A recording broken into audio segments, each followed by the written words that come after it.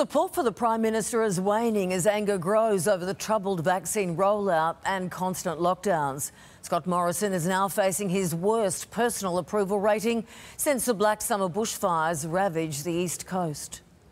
Question time started today with Scott Morrison lauding our Olympians. Olympic heroes and champions indeed for the ages.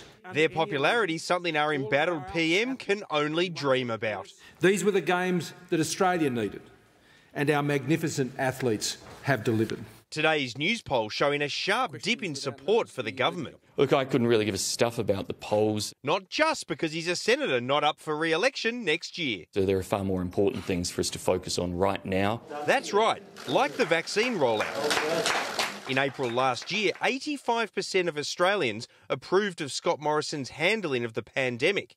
It's now plummeted to just 48%. It's not a race. This is a race. Which explains why personal support for the PM has fallen to its lowest level since the bushfires at the start of last year. Labor now leads the coalition on the two party vote, 53 to 47%.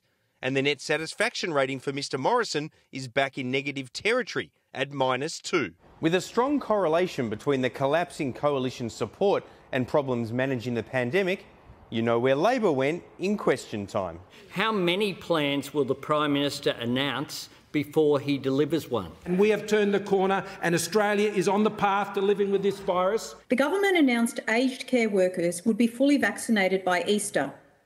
It's August. 56.8% uh, of first doses amongst those staff. The Prime Minister has repeatedly said the national vaccine rollout is not a race.